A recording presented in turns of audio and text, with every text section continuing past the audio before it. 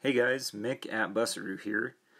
This is a quick tip video for the folks looking to convert your Type 1 to Subaru. Hopefully this will give some peace of mind in regards to supporting the engine, since Type 1s don't tend to have much frame structure to build a cross member off of.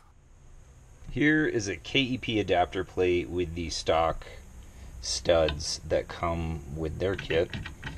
And all adapter plate manufacturers do something very similar just a stud that taps into this aluminum here.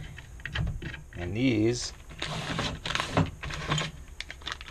are longer bolts and nuts that will replace these studs.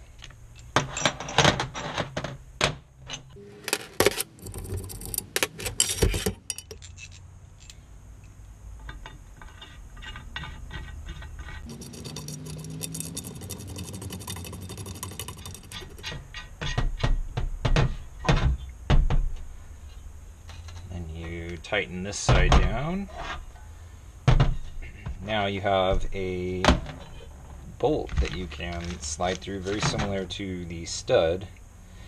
This will work very nicely. And you've got your nuts and washers to put on the other side, and they are held together just like in the stock VW arrangement. The motor is suspended by the transmission mounts and the frame horns. Thanks for watching. Hopefully this little tip is helpful and if you don't mind, please like and subscribe. It really helps a lot. See you next time.